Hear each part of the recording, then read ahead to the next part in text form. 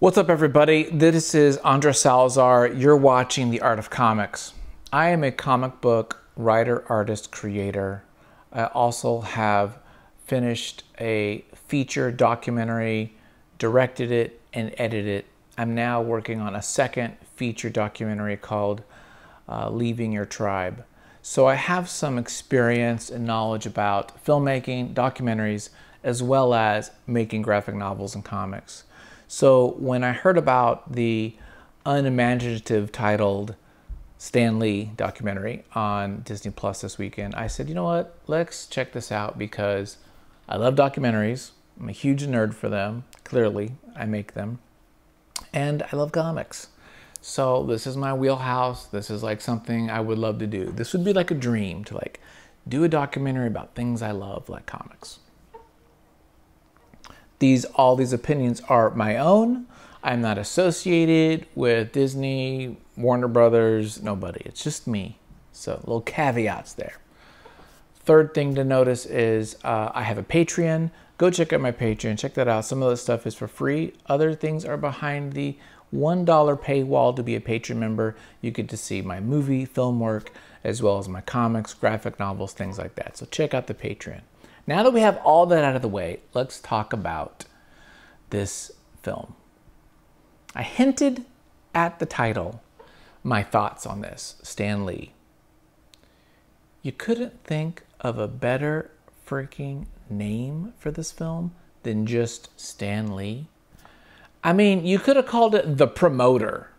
Something that like, oh, what's the promoter, the life of Stan Lee, or the the deal maker, or something the fact that this movie is just called Stan Lee says it all.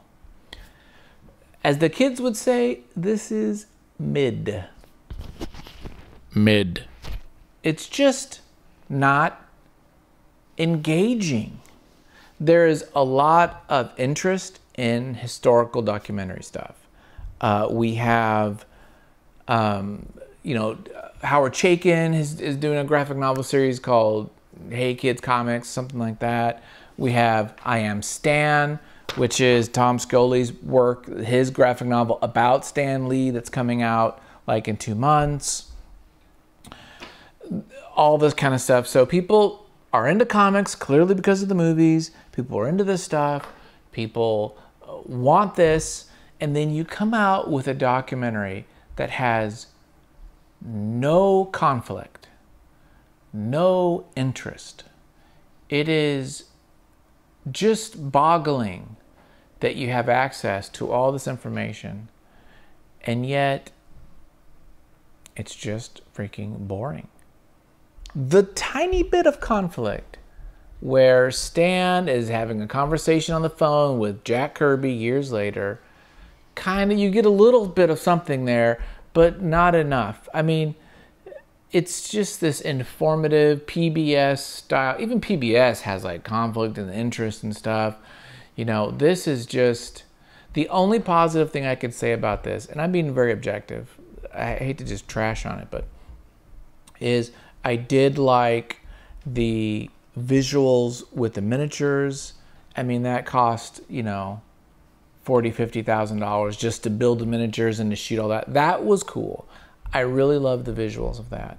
But as far as the story, the storytelling, the interest, it felt extremely bland. Look, man, I'm not saying you got to do a hit piece on him, but maybe interview some other people. You did all through his words. You didn't interview anybody else. You didn't kind of like show much.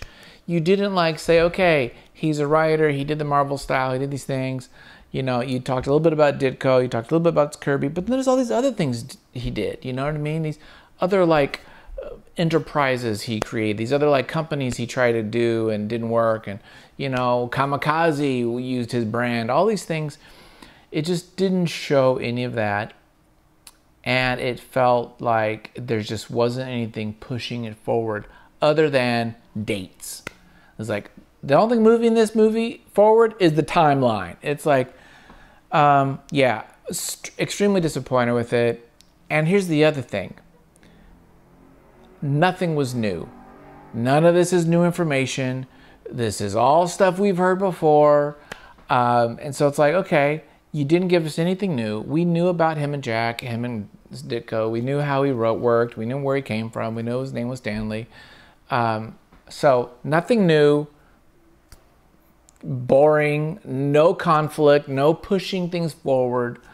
Uh, again, I did like some of the visuals, but uh, yeah, man, I was I was disappointed. It is what it is. What do you think? Am I right or am I wrong? Tell me, let me know. Check out this video, subscribe to the channel. I have other channels about music, things like that. And again, the Patreon is where all the cool people go. So thanks for watching. Bye, guys.